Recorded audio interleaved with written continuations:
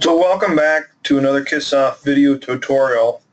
Uh, this tutorial is going to cover part two of the of the sizing a planetary gear set for precision mechanics.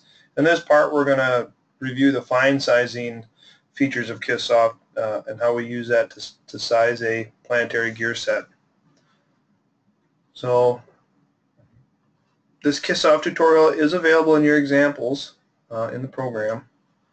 So if we go here to our examples, right down here, click examples, under the cylindrical gears heading, in examples, we open this up and we can come right down and find this tutorial. If you uh, are listening to this in English, E is the one you want. So part one, we already discussed how we rough size this gear set, and this and that's where we're at at this point. Is we've rough sized the gear uh, gear set, and this is the uh, the results of the rough sizing. These results meet our safe, uh, you know, our required safeties uh, for root and flank strength, but now we want to optimize this a little bit further. So we're going to go to our fine sizing icon right here.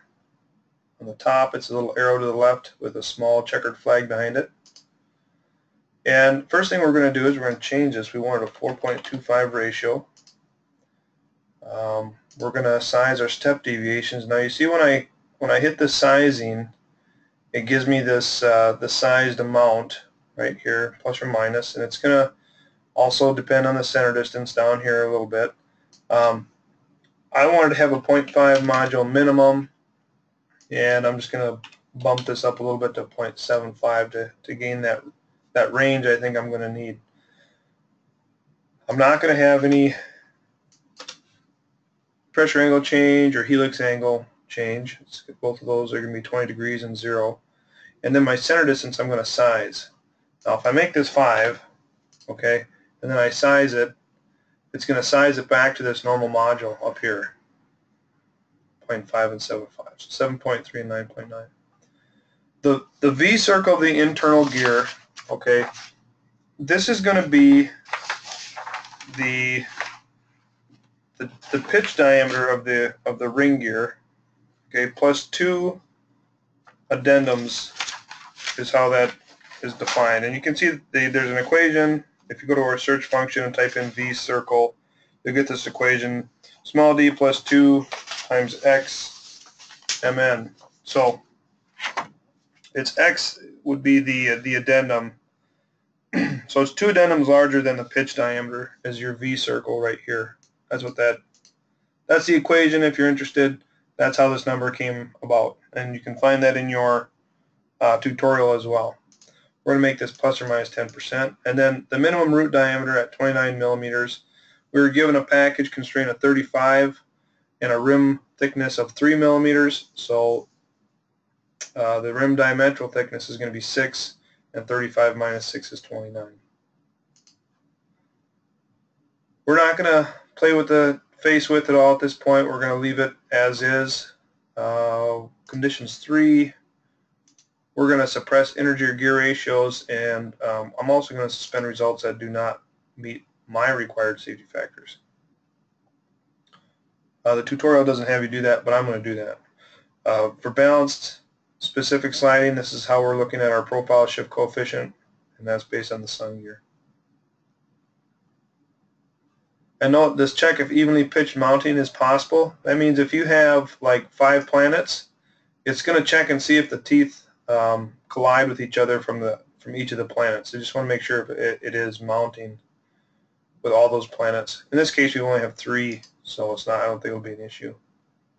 So at this point, we're ready to calculate.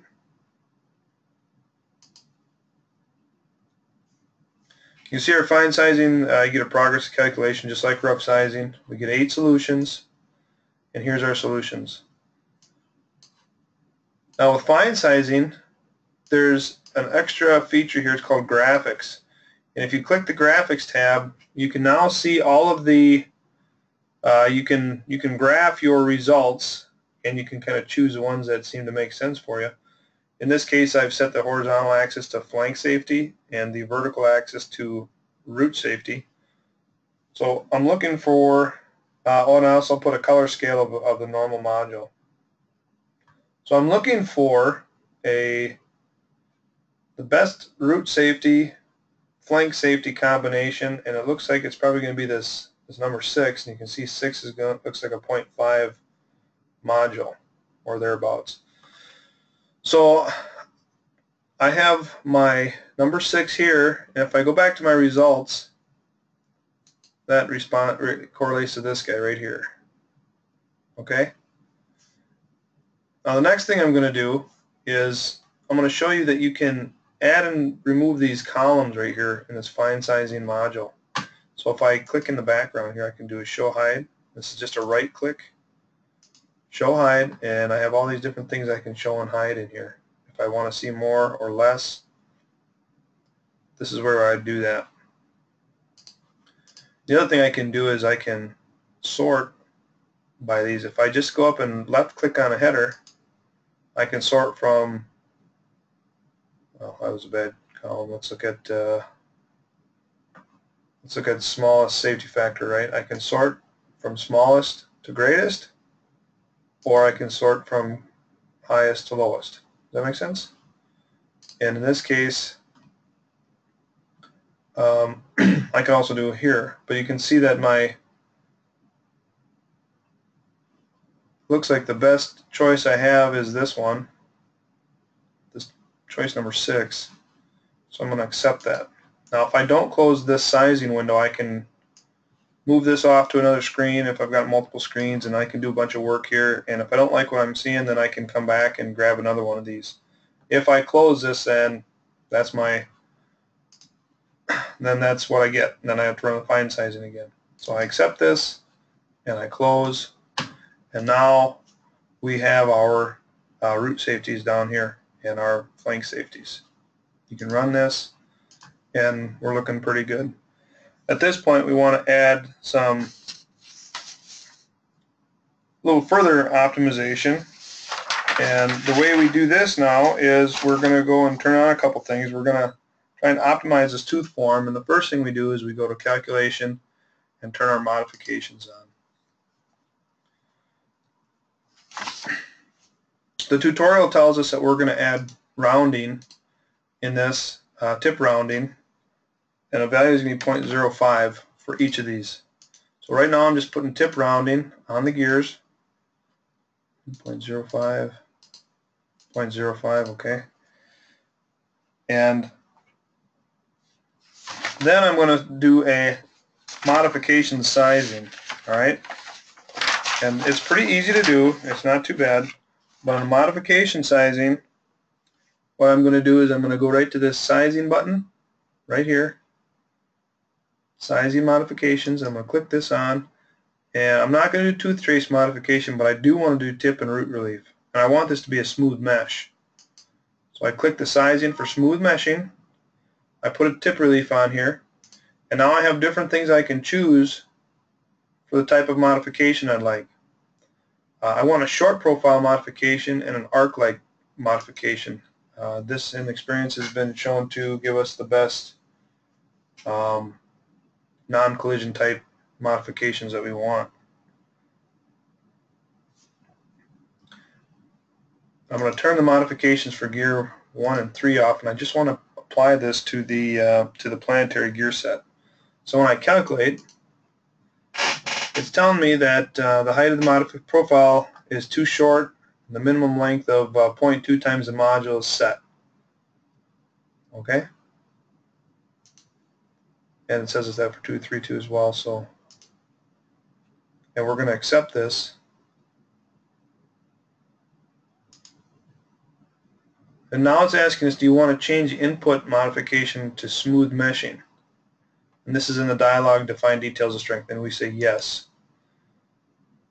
And that actually is right here. If we go to our rating tab, details of strength, it's this profile modification here.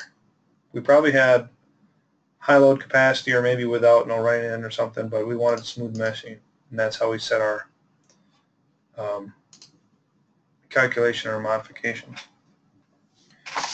So now we have, we've modified the tip and we can run this and we have uh, some things that changed a little bit, not too bad. Now we're going to modify the root. And what we're going to do on the root is add an elliptical root modification. Okay? So we go to mod we go back to calculation and we're going to turn our tooth form on.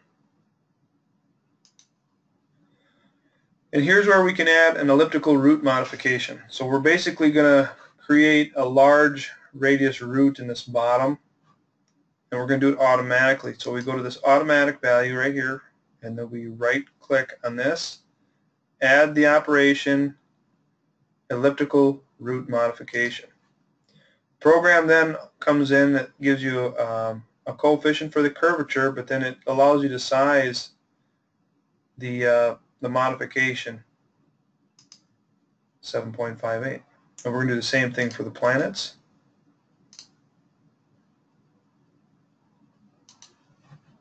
We're going to size those.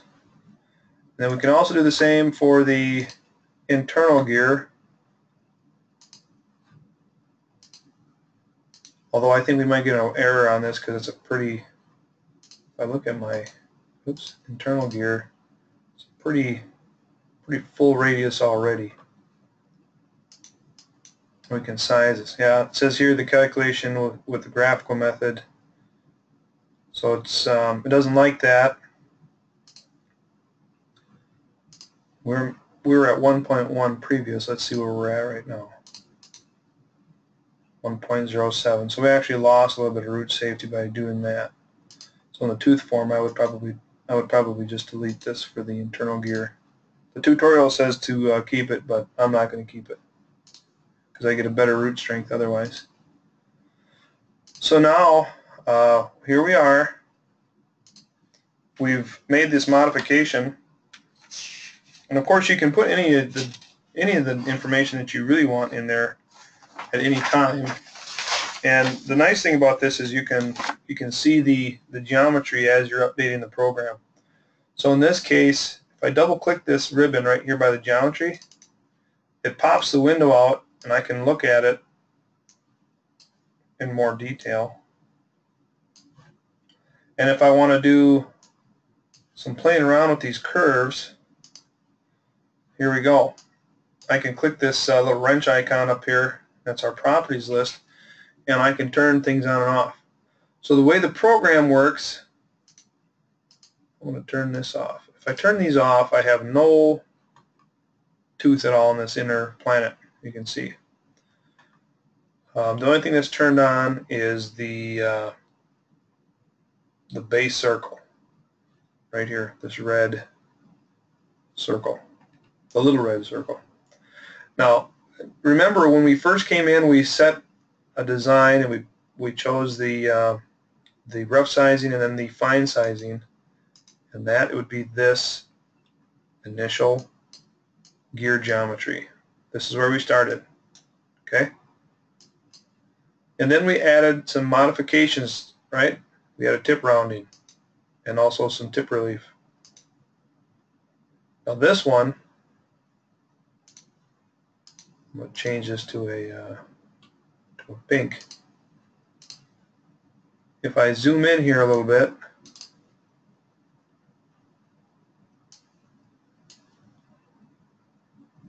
you can see how the pink line deviates from our original blue line. This is your tip relief. Okay? That's the tip relief.